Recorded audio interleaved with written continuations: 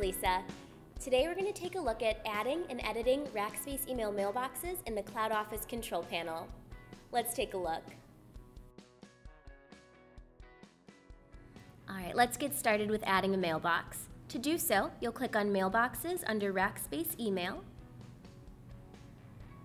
and then you'll click on Add Mailbox.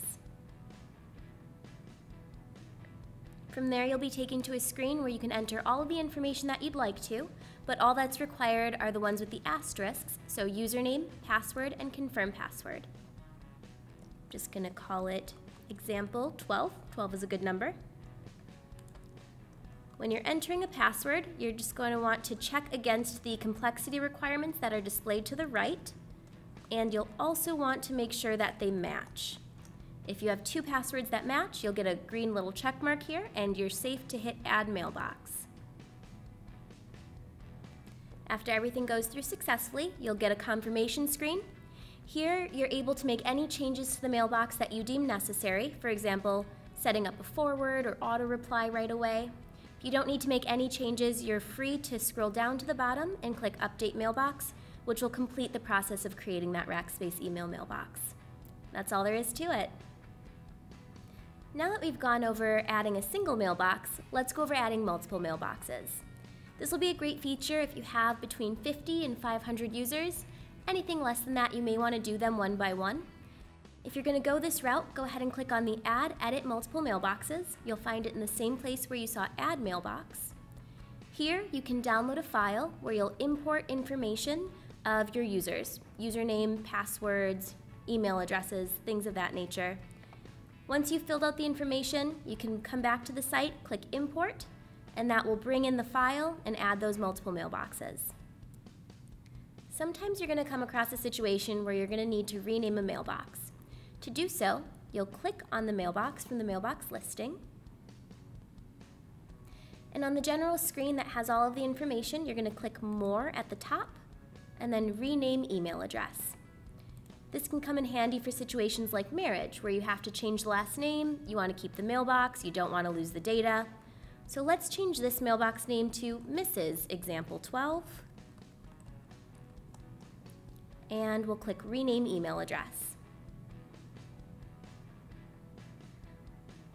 Once that has been completed successfully, you'll see a pop-up saying, hey, your old mail is still going to forward to the new one. We've made an alias. We're going to make sure you still get your mail from the old address name. Click on OK to confirm that. Your mailbox has been successfully renamed. You'll see the new name all the way at the top here. If you do decide that you don't want that alias, you don't need that old name, maybe you've had a change of employees, you can go ahead and click on the Alias tab from here, select the old address, click Remove, and then update mailbox. That will continue the rename without having that alias there. Now we're going to touch on deleting a Rackspace email mailbox. To do this, you're going to click the checkbox next to the email address, go down to Select Action, and choose Delete Mailboxes. Once you've done that, you're going to get a confirmation prompt that's asking if you want to delete the mailbox and what data that's associated would also be deleted with that. If you're okay with all of that being gone, you'll click delete one mailbox or however many you've selected. And you'll see on the screen for the mailbox listing that the mailboxes that you've deleted are now gone.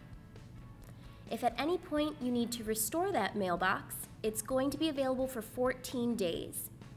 In order to restore it, you'll add the mailbox back by clicking Add Mailbox and it's important that you give it the exact same name that it had before you deleted it.